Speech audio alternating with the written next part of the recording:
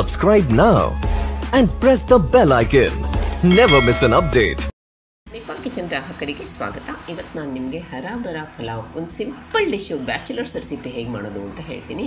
ಅದಕ್ಕೆ ನೋಡಿ, ಎಣ್ಣೆ ಕುಕ್ಕಿಂಗ್ ಆಯಿಲ್ ಎರಡು ಟೇಬಲ್ ಸ್ಪೂನ್ ಲೋ ಫ್ಲೇಮಲ್ಲಿ ಇಟ್ಕೊಳ್ಳಿ ಕುಕ್ಕರ್ಗೆ ಹಾಕ್ಕೊಂಡು, ಅದು ಕಾಯ್ತು ಅದಕ್ಕೆ ಜೀರಿಗೆ ಹಾಕಿ ಒಂದು ಟೀ ಸ್ಪೂನು ಒಂದು ಬೇ ಲೀಫ್ ಹಾಕಿ, ಅಂದರೆ ಪಲಾವ್ ಎಲೆ. ಹಾಗೆ ಒಂದು ಸ್ಟಾರ್ ಮಸಾಲ ಹಾಕ್ಕೊಳ್ಳಿ.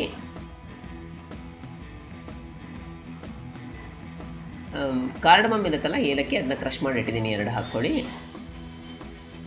ಹಾಗೆ ಲವಂಗ ನಾಲ್ಕು ಹಾಕ್ಕೊಳ್ಳಿ. ಸಿನಮನ್ ಅಂದರೆ ಚಕ್ಕೆ ಒನ್ ಇಂಚ್ ಪೀಸ್ ಹಾಕ್ಕೊಳ್ಳಿ ಒಂದು. ನಾನು ಪೀಸ್ ಮಾಡಿ ಇಟ್ಟಿದ್ದೀನಿ, ಹಾಕ್ಕೊಳ್ಳಿ ಹಾಗೆ. ತುಂಡು ಕ್ಯಾಶ್ಯೂ ತುಂಡುಗಳನ್ನು, ಅದನ್ನು ಸ್ವಲ್ಪ ಹಾಕ್ಕೊಳ್ಳಿ. ಎಲ್ಲ ಒಟ್ಟಿಗೆ ಚೆನ್ನಾಗಿ ಅರೋಮೆಟಿಕ್ಕು ಮತ್ತು ಫ್ರೈ ಆಗಿ ಕಂಬೈನ್ ಆಗೋ ತನಕ ಚೆನ್ನಾಗಿ ಅದನ್ನು ಸ್ಟೀರ್ ಮಾಡ್ಕೊಳ್ಳಿ ಒಂದು ನಿಮಿಷ ತನಕ. ಲೋ ಫ್ಲೇಮಲ್ಲೇ ಮಾಡ್ಕೊಳ್ಳಿ. ಆವಾಗ ಚೆನ್ನಾಗಿ ಗಮ್ಮಂತ ಪರಿಮಳ ಬರ್ತದೆ. ಈಗ ಅದಕ್ಕೆ ನೀರುಳ್ಳಿ ಕಟ್ ಮಾಡಿರೋದು ತ್ರೀ ಫೋರ್ತ್ ಕಪ್ ಹಾಕ್ಕೊಳ್ಳಿ ಸಪೂರ ಕಟ್ ಮಾಡಿ. ಅಂದರೆ ಬಾಸುಮತಿ ರೈಸ್ ಹಾಗೆ ಕಟ್ ಮಾಡಿದ್ದೀನಿ ನಾನು. ಹಾಗೆ ಸಾಲ್ಟ್ ಹಾಕ್ಕೊಳ್ಳಿ ಅದಕ್ಕೆ.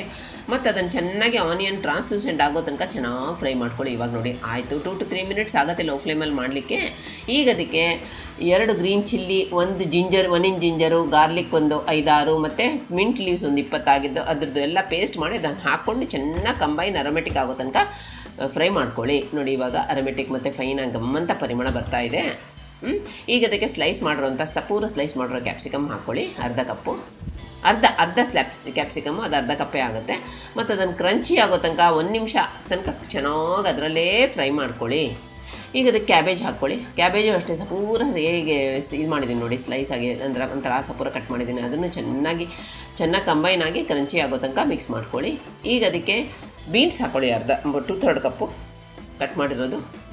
ಹಾಗೆ ಗ್ರೀನ್ ಪೀಸ್ ಹಾಕ್ಕೊಳ್ಳಿ two third cup fresh green peas ಹಾಕಿದ್ದೀನಿ ನಾನು. ನೀವು ಬೇಕಾದ್ರೆ ಫ್ರೋಝನೂ ಹಾಕ್ಕೋಬೋದು ಈಗ ಕ್ಯಾರೆಟ್ ನೋಡಿ ಸ್ಲೈಸ್ ಮಾಡಿಟ್ಟಿದ್ದೀನಿ ಅಂತ ಅದನ್ನು ಹಾಕ್ಕೊಳ್ಳಿ ಎಲ್ಲನೂ ಚೆನ್ನಾಗಿ ಅರೋಮೆಟಿಕ್ ಮಸಾಲ ಹೋಲ್ ಮಸಾಲ ಮತ್ತು ಇದು ಪೇಸ್ಟ್ ಹಾಕಿದ್ದೀವಲ್ಲ ಅದ್ರಲ್ಲಿ ಕಂಬೈನ್ ಆಗೋ ತನಕ ಫ್ರೈ ಮಾಡ್ಕೊಳ್ಳಿ. ಆನಿಯನು ಇದ್ರ ಜೊತೆ ಎಲ್ಲ. ಈಗ ಅದಕ್ಕೆ garam masala powder one third teaspoon ಹಾಕೊಳ್ಳಿ. ಸ್ಟ್ರಾಂಗ್ ಅದು ಮನೆಯದು ತುಂಬ ಚೆನ್ನಾಗಿದೆ. ಅಷ್ಟೇ ಸಾಕಾಗುತ್ತೆ. ಯಾಕಂದರೆ ಹೋಲ್ ಮಸಾಲಾನು ಹಾಕಿದ್ದೀವಲ್ಲ ಒಂದೇ ಕಪ್ ಬಾಸುಮತಿ ರೈಸ್ ಹಾಕೋದು ಚೆನ್ನಾಗಿ ಕಂಬೈನ್ ಆಗೋ ತನಕ ಅರಮೆಟಿಕ್ ಆಗೋ ತನಕ ಫ್ರೈ ಮಾಡ್ಕೊಳ್ಳಿ. ಈಗ ಅದಕ್ಕೆ ನಾವು ತೊಳೆದಿಟ್ಟಿರುವಂಥ ಬಾಸುಮತಿ ಅಕ್ಕಿ ಹಾಕ್ಕೊಳ್ಳಿ ಒಂದು ಕಪ್ಪು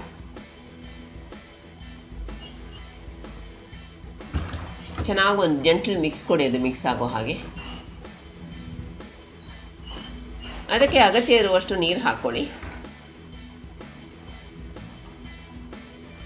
ಮತ್ತೆ ಒಂದು ಮಿಕ್ಸ್ ಕೊಡಿ ಇದಕ್ಕೆ ಜಂಟ್ಲಾಗಿ ಎಲ್ಲ ಸರಿ ಮಾಡ್ಕೊಂಬಿಡಿ ಲೆವೆಲ್ ಮಾಡ್ಕೊಳ್ಳಿ. ಈಗ ಮುಚ್ಚಳ ಮುಚ್ಚಿಬಿಟ್ಟು ಕುಕ್ಕರ್ದು ಆಗೋ ತನಕ ಅದು ಕರೆಕ್ಟಾಗಿ ಕುಕ್ಕಾಗಿ ಬರೋ ತನಕ ಕುಕ್ ಮಾಡ್ಕೊಳ್ಳಿ. ಇವಾಗ ನೋಡಿ ಟೈಮ್ ಆಯಿತು, ಆಗಿದೆಯಾ ಅಂತ ಚೆಕ್ ಮಾಡ್ಕೊಳ್ಳಿ. ನೋಡಿ, ಎಷ್ಟು ಚೆನ್ನಾಗಿ ಫ್ಯಾಂಟಾಸ್ಟಿಕ್ ಆಗಿದೆ ಇದು ಬ್ಯಾಚುಲರ್ಸ್ ರೆಸಿಪಿ ಇದಕ್ಕೆ ಏನೂ ಕಷ್ಟ ಇಲ್ಲ. ನಿಮ್ಗೆ ಅಕಸ್ಮಾತ್ ಅದು ಪೇಸ್ಟ್ ಮಾಡೋಕ್ಕಾಗದೆ ಇದ್ದರೆ ಎಲ್ಲ ಸಪೋರ ಕಟ್ ಮಾಡಿ ಹಾಕ್ಬಿಡಿ ಅಷ್ಟೇ. ಇವಾಗ ಅದಕ್ಕೆ ಲೆಮನ್ ಜ್ಯೂಸ್ ಹಾಕ್ಕೊಳ್ಳಿ ಟ್ರಾನ್ಸ್ಫರ್ ಮಾಡಿಬಿಟ್ಟು ಬೌಲ್ಗೆ ಮತ್ತು ಕೊತ್ತಂಬರಿ ಸೊಪ್ಪು ಹಾಕ್ಕೊಳ್ಳಿ ಗಾರ್ನಿಷ್ ಮಾಡ್ಕೊಳ್ಳಿ ಈಗ ನಿಮಗೆ ಯಮ್ಮಿ ಹರಾಬರ ಪಲಾವ್ ರೆಡಿ ಆಯಿತು. ಹರಾಬರ ಅಂದರೆ ವೆಜಿಟೇಬಲ್ಸ್ ಮತ್ತು ಇದು ಹಾಕಿರೋದು ವೆಜಿಟೇಬಲ್ಸ್ ಗ್ರೀ ಫ್ರೆಶ್ ವೆಜಿಟೇಬಲ್ಸ್ ಗ್ರೀನ್ ಇರೋದು ಹಾಕೊಳ್ಳೋದು. ಇನ್ನು ಒಳ್ಳೊಳ್ಳೆ ರೆಸಿಪಿ ಜೊತೆ ಬರ್ತೀನಿ. ನನ್ನ ಚಾನಲ್ಗೆ ದಯಮಾಡಿ ಸಬ್ಸ್ಕ್ರೈಬ್ ಮಾಡಿ. ಸಿ ರಿಟರ್ನ್ ಬಾಯ್ ಬಾಯ್